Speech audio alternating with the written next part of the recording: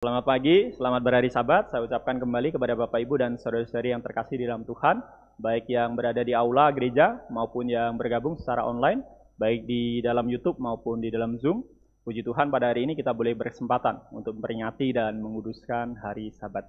Ya baik, di dalam nama Tuhan Yesus menyampaikan firman Tuhan. Firman Tuhan pada kesempatan kali ini saya berikan judul Gara-gara Yunus. Ya, kalau kita baca judul ini mungkin kita cukup uh, tersentil ya dengan judul. Kenapa? Tadi saya sampaikan judulnya ke petugas slide juga. Ini beneran judulnya seperti ini. ya gara-gara Yunus. Uh, saya berharap di antara kita semua tidak ada yang bernama Yunus ya. Seandainya ada, uh, yang saya maksudkan bukan Yunus uh, saudara-saudari sekalian ya, tetapi Yunus yang ada di dalam Alkitab.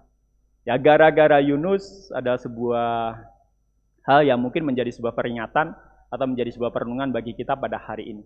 Eh, di dalam kebiasaan kita atau di dalam budaya kita, di dalam masyarakat atau di dalam kehidupan kita sehari-hari ada satu budaya yang mungkin uh, sering kali terjadi.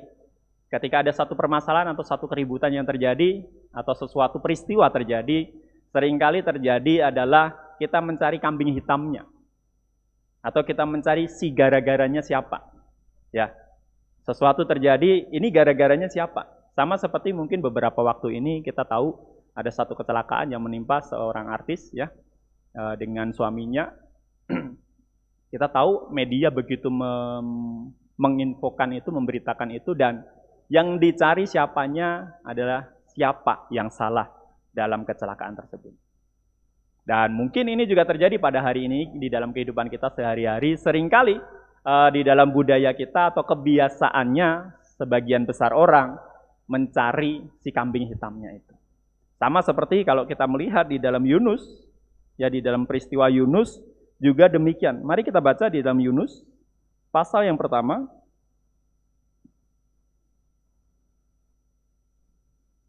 Yunus pasal yang pertama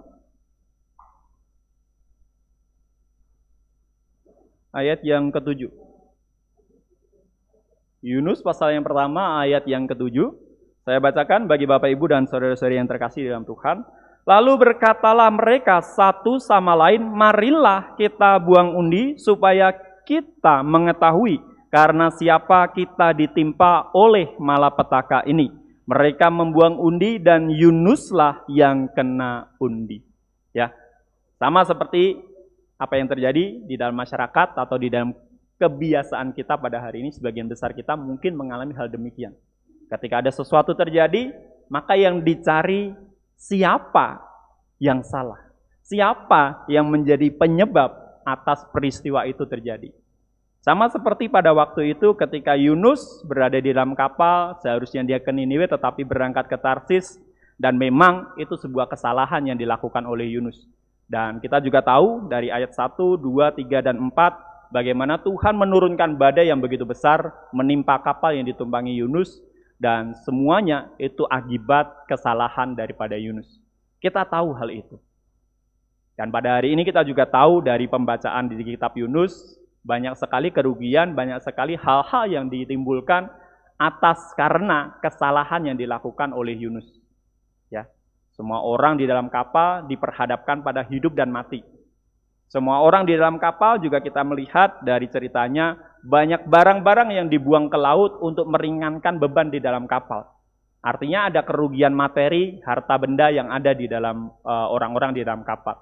Atau mungkin juga kalau mungkin uh, yang beberapa hari, beberapa waktu yang lalu kita tahu seorang koruptor mengajukan banding ya uh, keringanan penjaranya, keringanan tanggungan yang harus hukumannya karena apa? Karena ada beban psikologis begitu. Yang mungkin itu juga terjadi di dalam orang-orang kapal pada saat itu. Ya, ketika mereka mengalami hal itu, mungkin ada sesuatu hal psikologis yang terjadi di dalam diri mereka. Dan itulah kerugian-kerugian yang ditimpa, yang didapatkan, yang ditimbulkan oleh siapa? Oleh Yunus. Maka judul pada hari ini saya bawakan adalah gara-gara Yunus. Tetapi sesungguhnya ada sesuatu hal yang lebih yang lebih seharusnya kita pikirkan menjadi sebuah fokus utama orang-orang pada saat itu. Bahwa bukan si penyebab ketika sudah tahu sebab akibatnya seperti apa, penyebabnya seperti apa, siapa yang salah, siapa yang membuat, lalu apa yang seharusnya dilakukan. Itulah yang seharusnya menjadi fokus utama kita pada hari ini.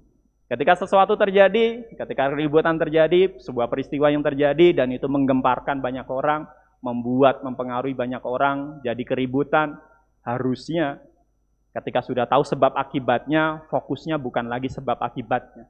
Tetapi apa yang bisa dipelajari, apa yang boleh kita dapatkan dari peristiwa itu.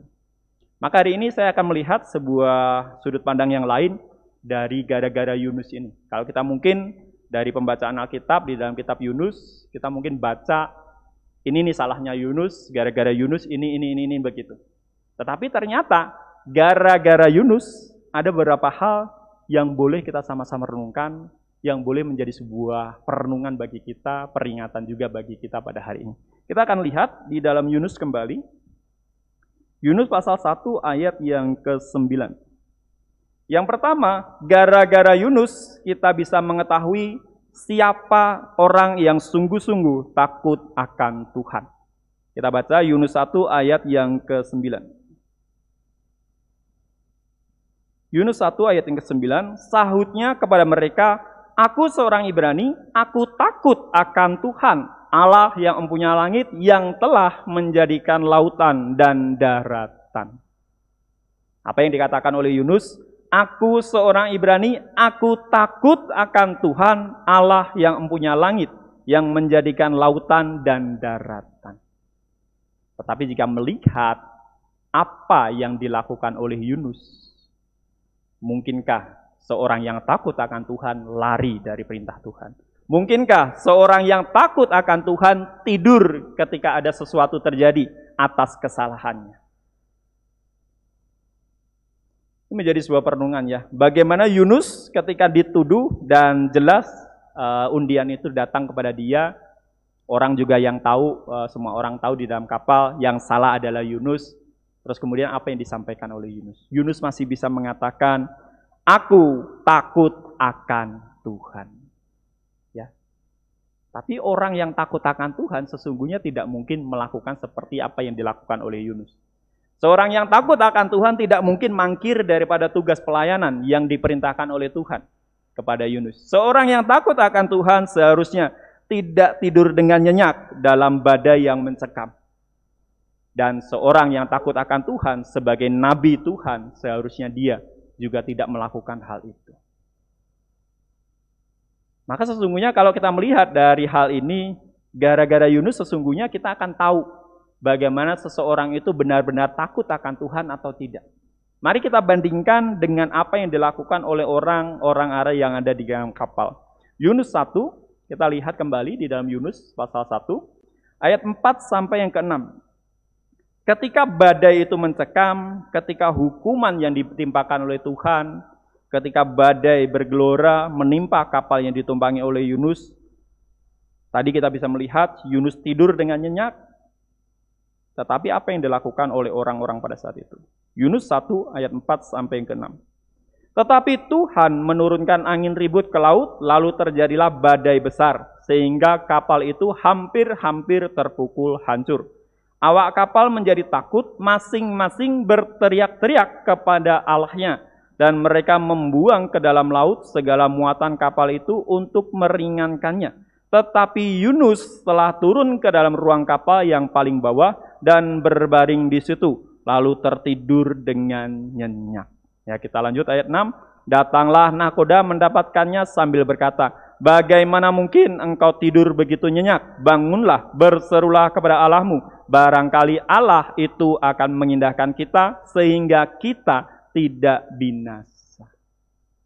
Nah, mari kita bandingkan dengan apa yang dilakukan oleh orang-orang yang ada di kapal selain daripada Yunus.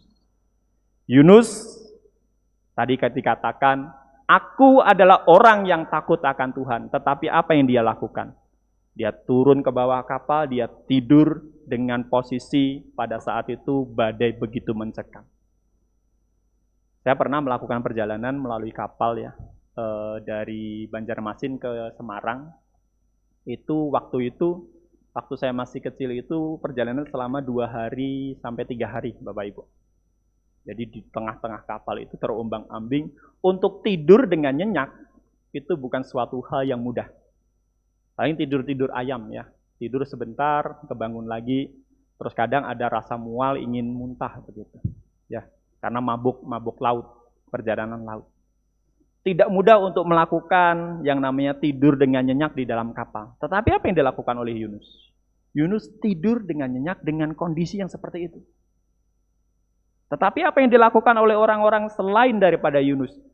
Masing-masing berteriak kepada Allahnya. Ya. Artinya memang mereka pada saat itu punya keyakinan dan kepercayaan masing-masing dan punya Tuhannya masing-masing ya. Dan mereka berteriak kepada Allahnya dengan kondisi seperti itu. Nah seharusnya orang yang takut akan Tuhan melakukan hal ini. Ketika segala sesuatu yang terjadi mencekam hidup dan matinya, seharusnya berteriak, berseru kepada Tuhan. Tetapi pada saat itu Yunus tidur dengan nyenyak. Layakkah seorang yang takut akan Tuhan mengatakan hal itu? Saya takut akan Tuhan, tetapi ternyata dia tidak pergi kepada Tuhan ketika segala sesuatu membahayakan hidup dan mati. Maka hari ini menjadi sebuah perenungan bagi kita pada hari ini ya.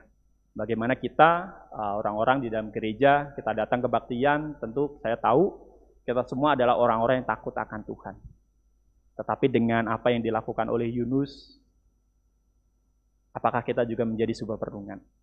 apakah kita juga memperoleh peringatan ya dengan apa yang terjadi? Kalau kita mengatakan takut akan Tuhan, tetapi kita tidak datang kepada Tuhan, tidak berseru kepada Tuhan, layakkah kita mengatakan diri kita takut akan Tuhan? Ya. Ini yang pertama ya, kalau kita melihat sesungguhnya gara-gara Yunus kita bisa tahu bagaimana seseorang itu yang takut akan Tuhan atau tidak. Orang yang takut akan Tuhan seharusnya bersandar kepada Tuhan. Meskipun kalau kita melihat orang-orang di dalam kapal berserunya kepada Tuhan ya Allahnya mereka masing-masing. Tetapi setidaknya mereka berteriak kepada Tuhannya. Nah, tetapi apa yang dilakukan oleh Yunus? Ya, Yunus tidur dengan nyenyak, tidak berteriak dengan Tuhannya. Nah inilah sesungguhnya apa yang boleh kita sama-sama lihat. Seseorang yang takut akan Tuhan, yang pertama sesungguhnya ada sebuah sensitivitas, sensitivitas rohani di dalam dirinya. Kalau kita melihat kenapa orang-orang pada saat itu berteriak kepada Allahnya, karena mereka yakin dan percaya ada kuasa lebih yang bisa menyelamatkan. Ya. Ada kuasa Tuhan yang bisa menyelamatkan mereka. Tetapi Yunus tidak seperti itu. Ya, artinya apa? Artinya mereka masih memahami bahwa ada sesuatu hal yang rohani, ada sesuatu kuasa yang lebih daripada manusia, kekuatan manusia pada saat itu. Yaitu apa? Yaitu Tuhan. Artinya apa? Artinya mereka menyadari bahwa ada sesuatu kuasa rohani yang terjadi, yang bekerja di dalam kehidupan mereka. Nah, sama seperti kita pada hari ini, bagaimana dengan kita? Ya, apakah ada di dalam diri kita sensitivitas rohani itu. Ketika segala sesuatu terjadi, apakah kita bertanya kepada Tuhan? Apakah kita datang kepada Tuhan? Ya, seseorang yang takut akan Tuhan seharusnya ada sensitivitas rohani di dalam dirinya. Dengan cara apa? Sebagai sebuah contoh, ketika ada permasalahan terjadi dalam kehidupan kita, seharusnya kita introspeksi. Ya, kenapa orang-orang berteriak? Karena mereka merasa bersalah. Mungkin ada salahnya pada saat itu. Ya, sehingga Tuhan menurunkan sebuah hujan badai menyerang kapal mereka. Atau seandainya tidak ada yang salah di dalam diri kita, ya kita introspeksi, kita teliti diri kita, kita selidiki diri kita, tidak ada yang salah sama sekali, maka sesungguhnya kita akan melihat, memandang permasalahan itu menjadi sebuah ujian bagi kita. Ada maksud Tuhan kepada kita kenapa itu terjadi. Sama seperti salah satu tokoh di dalam Alkitab, kita akan lihat di dalam Ayub pasal 1 ayat yang kelima. Bagaimana Ayub menjadi sebuah teladan, sebuah hal yang baik, ya seorang yang takut akan Tuhan dan mempunyai sensitivitas rohani yang begitu luar biasa. Ayub 1 ayat yang kelima. Ayub 1 ayat yang kelima, setiap kali apabila hari-hari pesta telah berlalu, Ayub memanggil mereka dan menguduskan mereka keesokan harinya Pagi-pagi bangunlah Ayub, lalu mempersembahkan korban bakaran sebanyak jumlah mereka sekalian. Sebab pikirnya, mungkin anak-anakku sudah berbuat dosa dan telah mengutuki Allah di dalam hati. Demikianlah dilakukan Ayub senantiasa. Ya, orang yang takut akan Tuhan harusnya menyadari ada sesuatu hal yang berhubungan dengan kerohanian kita, dengan hubungan kita dengan Tuhan. Ya, karena segala sesuatu yang terjadi dalam kehidupan kita sesungguhnya itu juga berkaitan berhubungan dengan Tuhan kita. Ya, karena segala sesuatu diatur oleh Tuhan, segala sesuatu terjadi itu atas seizin Tuhan. Maka badai yang menyerang kapal Yunus sesungguhnya itu juga dari Tuhan. Tetapi kenapa Yunus seorang yang takut akan Tuhan tidak bertanya-tanya, tidak datang kepada Tuhan? Ya, seorang yang takut akan Tuhan harusnya datang kepada Tuhan, bertanya kepada Tuhan, memiliki sensitivitas rohani yang begitu luar biasa, yang tinggi. Ya, sehingga sadar bahwa apa yang terjadi itu juga merupakan sebuah pengaturan daripada Tuhan. Kita lihat 1 Korintus 14 ayat yang ke-20. 1 Korintus pasal yang ke-14 ayat yang ke-20. Seseorang yang takut akan Tuhan sesungguhnya punya sensitivitas rohani yang begitu tinggi, yang begitu baik ya. Sama seperti kalau kita lihat di dalam 1 Korintus 14 ayat yang ke-20.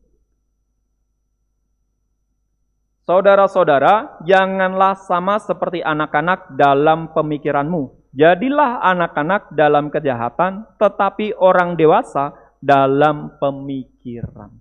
Ya, Jadilah anak-anak dalam kejahatan. Seperti apa seorang anak yang telah melakukan kesalahan. Ya mungkin Bapak Ibu yang sudah punya anak, ya seorang anak kecil, ketika pertama kali melakukan kesalahan, apa sih yang mereka lakukan? Ya, terkadang ada rasa takut yang begitu luar biasa. Ya, terus kadang sembunyi-sembunyi, uh, tidak ingin ketahuan kesalahannya itu seperti apa. Seandainya ketahuan ya dengan kita gitu, Lalu anak itu pasti akan punya rasa takut menghadap kepada kita dengan rasa takut yang begitu luar biasa. Ya, orang yang punya sensitivitas rohani seharusnya sensitivitas juga, sensitif juga terhadap kesalahan. Tetapi Yunus tidak seperti itu. Itu semua terjadi karena kesalahannya, tetapi dia tidak sadar. Ya orang yang takut akan Tuhan, punya sensitivitas rohani, harusnya sensitif juga terhadap kesalahan. Lalu bagaimana dengan kita pada hari ini? Mungkin pertama kali kita melakukan kesalahan, kita punya rasa takut yang begitu luar biasa. Tuhan ampuni saya. Tuhan maafkan saya. Saya melakukan ini, saya melakukan itu. Lalu bagaimana dengan itu sesuatu hal yang sudah terulang-ulang, berulang kali, berulang kali, dan tidak ada hukuman di dalam. Ya seolah-olah Tuhan membiarkan saja, dan terkadang kita akan terjebak pada kesalahan itu. Dan sampai akhirnya rasa salah kita, rasa bersalah kita itu tidak ada. Ya, sebagai sebuah contoh, mungkin pada hari ini kita tahu ada beberapa jemaat kita yang mungkin setiap sahabat tidak datang ke kebaktian. Sekali tidak datang, mungkin itu masih e, merasa, ah saya lupa datang ke kebaktian. Dua kali juga masih mungkin merasa, ah saya tidak datang ke kebaktian. Tiga kali, empat kali, sampai akhirnya berkali-kali akhirnya terbiasa, ya. Tidak lagi ingat bahwa sabat itu harus datang ke gereja. Ya sama dengan kesalahan-kesalahan yang lain ya. Mari kita belajar sama seperti anak dalam kejahatan yang sensitif terhadap sebuah kesalahan. Itulah seseorang yang takut akan Tuhan. Yang kedua, harus sensitif terhadap apa? Kita lihat di dalam Yohanes 10 ayat yang ke-27. Yohanes 10 ayat yang ke-27. Tadi malam kita juga sudah baca satu ayat ini. Bapak Ibu yang ikut dalam kebaktian online mungkin telah membaca juga. 10 Yohanes 10 ayat yang ke-27. Domba-dombaku mendengar suaraku dan aku mengenal mereka dan mereka mengikut aku. Ya. Seorang yang takut akan Tuhan, sensitif juga dalam pendengarannya akan firman Tuhan. Maka kalau kita pada hari ini setiap minggu datang kebaktian, datang sabat, dengar firman Tuhan, tapi tidak tersentil, tidak tersinggung, tidak tersindir, tidak teringatkan, tidak ada pertumbuhan iman kerohanian di dalam diri kita, tidak ada perubahan di dalam kehidupan kita, layakkah kita disebut orang yang takut akan Tuhan? Kalau kita datang kebaktian, kita datang, kita percaya di dalam Yesus Tuhan, kita adalah orang-orang yang takut akan Tuhan. Tetapi ini terjadi atau tidak di dalam diri kita? Ya, orang yang takut akan Tuhan harusnya sensitif pendengarannya. Ya, pendengaran terhadap firman Tuhan, mungkin juga pendengaran terhadap apa yang terjadi ya di dalam gereja. Info-info, ya pengumuman-pengumuman yang ada di dalam gereja, ya kabar-kabar yang ada di dalam gereja, kabar ini, kabar itu, harusnya kita juga sensitif terhadap hal-hal seperti itu. Ya, ada dua hal ini yang boleh menjadi sebuah sensitivitas kita sebagai orang-orang yang takut akan Tuhan. Gara-gara Yunus, sesungguhnya kita akan tahu, kita bisa membedakan Ya, orang yang takut akan Tuhan sesungguhnya seperti apa? Orang yang takut akan Tuhan harusnya punya sensitivitas rohani terhadap kesalahan, terhadap pendengarannya. Ya. Itu yang pertama. Yang kedua, kita lihat kembali di dalam Yunus 1 ayat 11 sampai 13. Orang yang takut akan Tuhan sesungguhnya seperti apa? Yunus pasal 1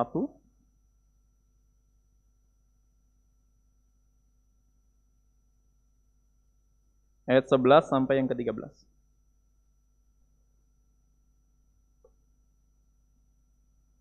Ayat 11 sampai yang ke-13, bertanyalah mereka, akan kami apakan engkau supaya laut menjadi reda dan tidak menyerang kami lagi, sebab laut semakin bergelora.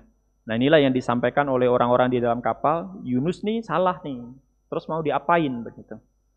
Terus 12. Sahutnya kepada mereka, angkatlah aku, campakkanlah aku ke dalam laut, maka laut akan menjadi reda dan tidak menyerang kamu lagi. Sebab aku tahu bahwa karena akulah badai besar ini menyerang kamu. Ya, Di satu titik Yunus ternyata menyadari kesalahannya. 13. Lalu berdayunglah orang-orang itu dengan sekuat tenaga untuk membawa kapal itu kembali ke darat.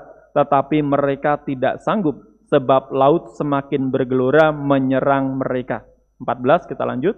Lalu berserulah mereka kepada Tuhan, katanya, Ya Tuhan, janganlah kiranya engkau biarkan kami binasa karena nyawa orang ini, dan janganlah engkau tanggungkan kepada kami darah orang yang tidak bersalah, sebab engkau Tuhan telah berbuat seperti yang kau kehendaki. Kalau kita baca ayat 15, lalu kemudian orang-orang di dalam kapal baru membuang Yunus ke dalam laut. Tetapi sebelumnya Yunus itu tidak dibuang ke laut. Ya, ketika Yunus mengatakan, "Buanglah aku ke dalam laut, nanti uh, badai ini akan reda." Tapi apa yang dilakukan oleh orang-orang di dalam kapal? Orang-orang di dalam kapal tetap tidak mau membuang Yunus ke dalam kapal. Kenapa? Padahal jelas, kalau nanti kamu buang aku ke dalam laut, badai ini akan reda. Tapi kenapa orang-orang di dalam kapal tidak mau membuang Yunus ke dalam laut? Ya kenapa seperti ini? Karena kalau kita lihat, sesungguhnya di dalam diri kita, di dalam diri setiap manusia itu ada hati nurani. Ya, nggak perlu firman Tuhan, eh, terkadang ada hati nurani, sesuatu hal yang nggak tega begitu, melakukan sesuatu hal yang menyakiti atau mencelakai seseorang. Sama seperti orang-orang di kapal pada saat itu. Ketika mereka mau membuang Yunus ke dalam lautan, sesungguhnya ada satu hati nurani mereka tergelitik. Jangan. Kalau mereka tega, mau buang, buang aja ya. Tapi ternyata enggak seperti itu. Mereka masih berusaha untuk menggiring kapal, mendayung kapal itu ke daratan, tetapi karena tidak berhasil, maka sampai akhirnya mereka mau membuang Yunus. Artinya apa? Sesungguhnya mereka tidak mau membuang Yunus ke dalam lautan. Kenapa? Karena hati nuraninya mereka masih baik. Mari kita bandingkan dengan apa yang dilakukan oleh Yunus. Yunus pergi ke Tarsis, seharusnya ke Niniwe, terus dia mengakibatkan badai besar terjadi di dalam kapal, mengakibatkan banyak orang menuju pada hidup dan mati, mengalami sebuah badai besar di dalam kapal, tetapi apakah hatinya tersentuh? Apakah ada rasa bersalah di dalam diri Yunus? Ya meskipun memang kalau kita lihat ada pengakuan ya, ya memang karena salah saya. Tapi sesungguhnya tidak ada ya satu hati nurani yang tergerak, yang tersentuh di dalam hati Yunus. Nah inilah orang yang takut akan Tuhan, seharusnya hati nuraninya masih berjalan dengan baik, masih berfungsi dengan baik. Ketika seseorang mau menyakiti seseorang, ketika seseorang mau mencelakai seseorang, ketika seseorang mau membenci seseorang, ketika seseorang mau menyakiti perasaan seseorang, tentu akan ada satu hati yang menyentuh, ya, akan mengingatkan, ah jangan. Ya, saya pernah menemukan sebuah seorang ya, seorang yang begitu baik, hati nuraninya itu begitu luar biasa, e, sampai sampai orang ini ketika ada orang yang menginjak semut ya, uh, satu orang ini begitu luar biasa marahnya. Padahal itu semut uh, sesuatu hewan yang mungkin bagi kita sih tidak penting begitu ya. Ya dibunuh satu mah masih banyak begitu ya.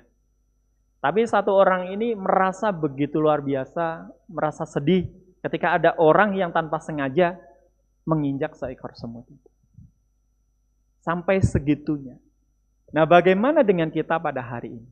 Seharusnya kalau kita takut akan Tuhan, harusnya hati nurani kita juga seperti itu. Ada rasa tidak tega, ada rasa tidak mau menyakiti seseorang, ada rasa yang begitu dalam di dalam diri kita bekerja mengingatkan diri kita untuk melakukan sesuatu hal yang begitu baik. Ya baik, baik, baik, baik. Seandainya mau melakukan sesuatu hal yang tidak baik, maka ada di dalam hati kita itu mengingatkan. Jangan, jangan, jangan begitu. Ya. Harusnya orang yang takut akan Tuhan seperti ini. Kita lihat di dalam Mazmur 16 ayat yang ketujuh. Mazmur pasal 16 ayat yang ketujuh.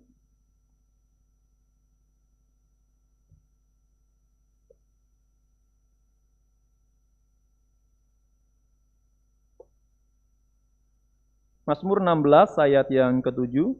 Aku memuji Tuhan yang telah memberi nasihat kepadaku.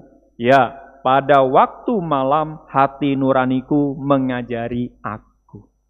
Ya, sama seperti Daud, ketika di malam hari hati nuraninya mengajari Daud, menasehati Daud. Nah, sama seperti kita pada hari ini. Sesungguhnya Tuhan juga berbicara kepada kita melalui hati nurani kita. Roh Kudus di dalam diri kita juga berbicara melalui siapa? Melalui hati nurani kita. Lalu bagaimana kita bisa berbicara kita adalah orang-orang yang takut akan Tuhan jika hati nurani kita tidak berfungsi dengan baik. Jika kita menyakiti orang, ya sakiti saja. Kita ketika kita mengatakan sesuatu menyakiti perasaan orang, kita mengatakan itu begitu saja. Harusnya itu menjadi sebuah peringatan bagi kita pada hari ini. Orang yang takut akan Tuhan seharusnya punya hati nurani yang baik. Hati nuraninya itu tidak tega melakukan sesuatu hal yang tidak baik. Ya, itu yang boleh kita sama-sama rungkan. Seseorang yang takut akan Tuhan, tadi kita bisa melihat dua hal. Yang pertama adalah ada sensitivitas rohani, baik dalam pendengaran maupun kesalahan yang dilakukan. Yang kedua adalah orang yang takut akan Tuhan, harusnya hati nuraninya masih bekerja, masih berfungsi dengan baik. Kita buka di dalam 1 Petrus 2, 1 Petrus 3 ayat 21. 1 Petrus pasal yang ketiga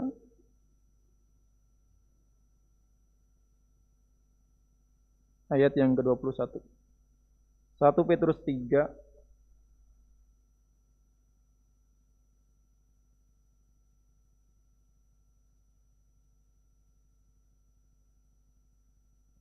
ayat yang ke-21. Juga kamu sekarang diselamatkan oleh kiasannya, yaitu baptisan. Maksudnya bukan untuk membersihkan kenajisan jasmani, melainkan untuk memohonkan hati nurani yang baik kepada Allah oleh kebangkitan Yesus Kristus. Ya baptisan yang kita terima sesungguhnya memohonkan kita apa-apa atas hati nurani yang baik. Kenapa? Karena dosa yang dilakukan oleh Adam dan Hawa itu merusak hati nurani seseorang manusia. Kenapa? Saya katakan demikian. Karena kalau kita melihat satu kejadian di dalam kitab kejadian, bagaimana seseorang kain, seorang kakak membunuh adiknya Habil, itu begitu teganya. Kenapa? Karena dosa telah merusak hati nurani seseorang pada saat itu. Seharusnya dengan baptisan yang kita terima, kita dimohonkan hati nurani yang baik. Kita dimohonkan hati nurani yang kembali baik, yang tidak dipengaruhi oleh dosa. Harusnya ini yang terjadi dalam diri kita pada hari ini. Kita yang sudah dibaptis, kita yang sudah terima keselamatan di dalam Tuhan, Tuhan Yesus telah memohonkan hati nurani yang baik kepada kita.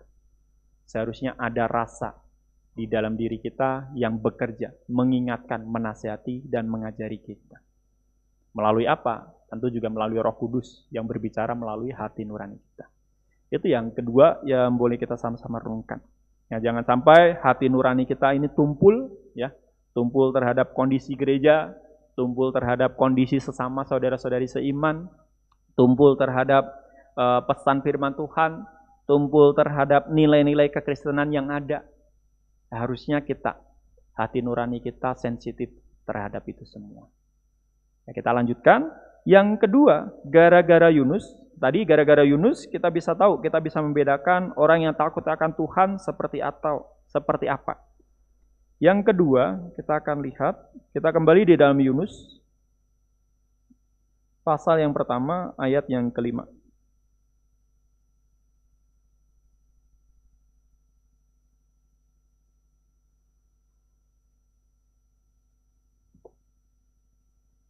Yunus pasal yang pertama, ayat yang kelima. yang kedua, gara-gara Yunus kita akan memperoleh apa? Yunus 1 ayat yang kelima. Awak kapal menjadi takut, masing-masing berteriak-teriak kepada Allahnya, dan mereka membuang ke dalam laut segala muatan kapal itu untuk meringankannya. Tetapi Yunus telah turun ke dalam ruang kapal yang paling bawah, dan berbaring di situ, lalu tertidur dengan nyenyak. Mari kita perhatikan satu kalimat, masing-masing berteriak-teriak kepada Allahnya. Ya, kita garis bawahi kata Allahnya. Kalau kita lihat dalam terjemahan bahasa Indonesia, Allahnya itu huruf kecil ya. Allah begitu. Nah, kita bandingkan selanjutnya ayat 14 dan 16. Tadi semua orang di kapal berteriak kepada Allahnya masing-masing. Lalu kita kemudian lanjut ayat 14 dan 16. Lalu berserulah mereka kepada Tuhan, katanya, "Ya Tuhan, janganlah kiranya Engkau biarkan kami binasa karena nyawa orang ini, dan janganlah Engkau tanggungkan kepada kami darah orang yang tidak bersalah, sebab Engkau Tuhan telah berbuat seperti yang kau kehendaki. Kita lanjut ayat 16.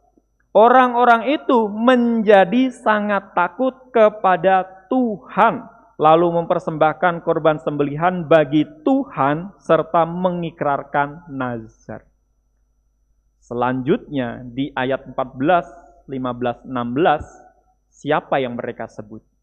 Bukan lagi Allahnya masing-masing, tetapi Tuhan. Nah, kalau kita melihat dalam terjemahan bahasa Indonesia memang dicatatkan atau diterjemahkan itu kata Tuhan huruf besar semua. Tapi kalau kita melihat dalam terjemahan bahasa Ibraninya itu adalah YHWH. Ya. Uh, mungkin kita kenal Yahweh begitu. YHWH. YHWH itu siapa? YHWH adalah Allah. Allahnya bangsa Israel, Allah yang esa, Allah yang benar, Allah yang sejati. Mungkin juga pada hari ini juga kita menyembah Allah yang itu. Allah yang esa, Allah yang benar. Nah, kalau kita lihat selanjutnya ya, dari gara-gara Yunus, sesungguhnya gara-gara Yunus, orang bisa mengenal Tuhan yang benar.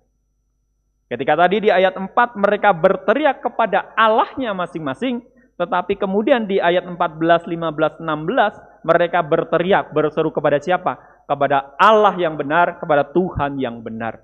Gara-gara siapa? Gara-gara Yunus memperkenalkan Tuhannya. Maka sesungguhnya ada satu hal yang menarik, ada satu hal yang baik ya. Gara-gara kesalahan Yunus, gara-gara apa yang dilakukan oleh Yunus, ternyata semua orang di dalam kapal menjadi mengenal Tuhan yang benar. Ini sebuah proses, ya. Maka sesungguhnya kita bisa melihat dua hal dari hal ini. E, bisa jadi itu menjadi, menjadi sebuah hukuman, ya. Bagi Yunus itu merupakan sebuah hukuman. Tetapi bagi orang-orang yang ada di dalam kapal, itu menjadi sebuah pemahaman. Ya, pemahaman atas apa? Pemahaman atas Tuhan yang benar terhadap mereka. Sehingga dengan kejadian ini, sehingga dengan badai yang bergelora di dalam kapal mereka, yang menghantam kapal mereka, tetapi ternyata mereka mengenal Tuhan yang benar. Ya sesungguhnya ada satu hal yang baik ya. Dari hukuman, dari sebuah peristiwa yang tidak baik, sebuah peristiwa yang tidak mengenakan, tetapi ternyata orang-orang di dalam kapal menjadi mengenal akan Tuhan. Nah, sesungguhnya ini juga yang terjadi di dalam kehidupan kita pada hari ini atas segala sesuatu yang terjadi ya. Baik itu enak atau tidak, baik itu nyaman atau tidak, baik itu menderita atau tidak, baik itu suka maupun duka, sesungguhnya Tuhan inginkan pengenalan akan Tuhan. Ya makanya jangan sampai kita melihat hanya hukumannya, hanya tidak enaknya, hanya sedihnya, hanya penderitaannya, hanya masalahnya saja, tetapi mari kita melihat sisi yang lain bahwa di dalam itu semua sesungguhnya Tuhan inginkan kita kenal Dia lebih dalam lagi. Kalau kita melihat contoh-contoh yang lain, contoh-contoh tokoh yang lain, sesungguhnya juga terjadi demikian. Sepuluh itulah terjadi karena apa? Karena Tuhan ingin menyatakan dirinya kepada bangsa Mesir dan juga kepada bangsa Israel. Ayub mengalami sebuah ujian yang begitu luar biasa, penderitaannya begitu luar biasa. Karena apa? Karena Tuhan ingin memperkenalkan dirinya kepada Ayub lebih dalam lagi. Yang dulunya tuh eh, Ayub mendengar kata Tuhan dari orang-orang, tetapi sesungguhnya pada waktu Ayub mengalami itu, Ayub sendiri mengalami sekarang saya benar-benar kenal Tuhan. Atau kita pada hari ini juga demikian. Sesungguhnya permasalahan, penderitaan, tekanan hidup yang terjadi, permasalahan yang terjadi dalam kehidupan kita, ya, entah itu suka maupun duka, ya sesungguhnya apa sih tujuan Tuhan? Tuhan ingin memperkenalkan dirinya kepada kita masing-masing. Dan saya tidak tahu apa yang terjadi di dalam kehidupan kita pada hari ini, masing-masing diri kita, Tuhan punya cara tersendiri, Tuhan punya maksud tersendiri untuk memperkenalkan dirinya kepada kita. Tinggal kita, apakah kita bisa memahami itu atau tidak. Apakah kita bisa mengenal Tuhan atas segala sesuatu yang terjadi di dalam kehidupan kita. Ya kita buka Amsal 2 ayat 1 sampai yang kelima. Sebagai ayat yang terakhir, Amsal 2 ayat 1 sampai yang kelima.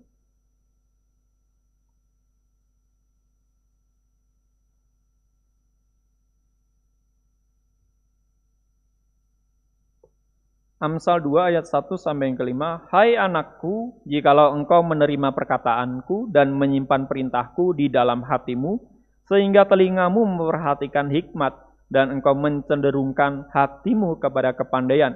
Ya, jikalau engkau berseru kepada pengertian dan menunjukkan suaramu kepada kepandaian, jikalau engkau mencarinya seperti mencari perak dan mengejarnya seperti mengejar harta terbendang, maka engkau akan memperoleh pengertian tentang takut akan Tuhan. Ya, intinya adalah kita mau mengejar itu atau tidak. Kita mau mencari itu atau tidak. Kita mau mencari pengenalan akan Tuhan atas segala sesuatu yang terjadi di dalam kehidupan kita atau tidak. Ya, kenapa banyak orang gagal dengan segala permasalahan yang terjadi? Banyak orang undur diri daripada Tuhan, banyak orang undur diri dari hadapan Tuhan karena segala sesuatu yang terjadi. Karena sesungguhnya tidak mencari Tuhan, tidak mencari pengenalan akan Tuhan atas segala sesuatu yang terjadi. Maka mari hari ini kita boleh bersama-sama diingatkan. Ya, cari pengenalan akan Tuhan di dalam segala sesuatu yang terjadi. Entah itu suka maupun duka, permasalahan, penderitaan, tekanan hidup, mari kita cari itu. Ya. Kemuliaan bagi nama Tuhan. Amin.